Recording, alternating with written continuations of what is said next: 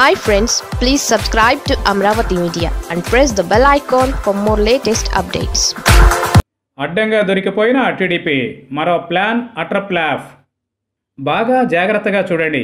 Five ఫోటోను విజయవాడలో media సమావేశం పెట్టి ఎంపీ భర్తపై ఆర్థిక ఆరోపణలు చేసి ఆత్మహత్య ప్రయత్నం చేసిన మనిషే ఈవిడ.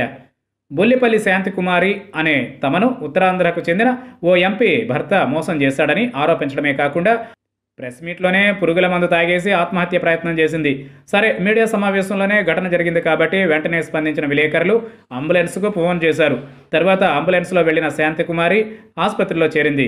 వైసీపీ నేతకు వ్యతిరేకంగా ఆరోపణలు చేయడమే కాకుండా తన ప్రెస్ మీట్లో రాజ్యసభ ఎంపీ విజయసాయిరెడ్డి కారెం శివాజీ పేర్లు కూడా చెప్పింది కాబట్టి సహజంగానే ఎల్లో మీడియా విపరీతమైన పబ్లిసిటీ ఇచ్చేసింది.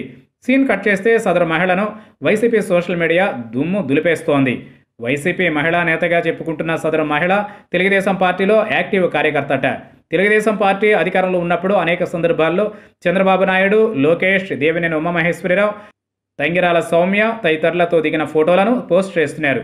అలాగే వైసీపీ ప్రభుత్వం వచ్చిన తరువాత చంద్రబాబు వివిధ సందర్భాల్లో చేసిన ఆందోళనల్లో కూడా సదరు మహిళ పాల్గొన్న ఫోటోలను సర్క్యులేషన్లోకి పెట్టారు. మరి టీడీపీ కార్యక్రమాల్లో ఎంత యాక్టివ్గా పార్టిసిపేట్ చేస్తున్న మహిళ తనను తాను వైసీపీ మహిళా నేతగా ఎలా పరిచయం చేసుకుంటుందో అర్థం కావడం లేదు. దీనికి మీడియా కూడా ఇంత పెద్ద స్థాయిలో ప్రచారం ఇవ్వడమే ఆశ్చర్యంగా ఉంది. పోనీ వైసీపీ వచ్చిన తర్వాత అధికార పార్టీలో చేరిందే అనుకుందాం.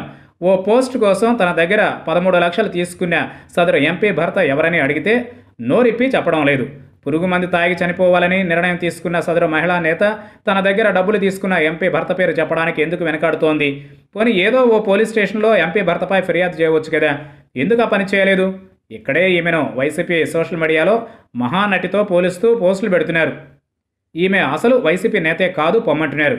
చంద్రబాబు ఆడించిన డ్రామాలో ఈమె కూడా ఓ పావు మాత్రమే అని వైసీపీ నేతలు కొట్టిపారేస్తున్నారు.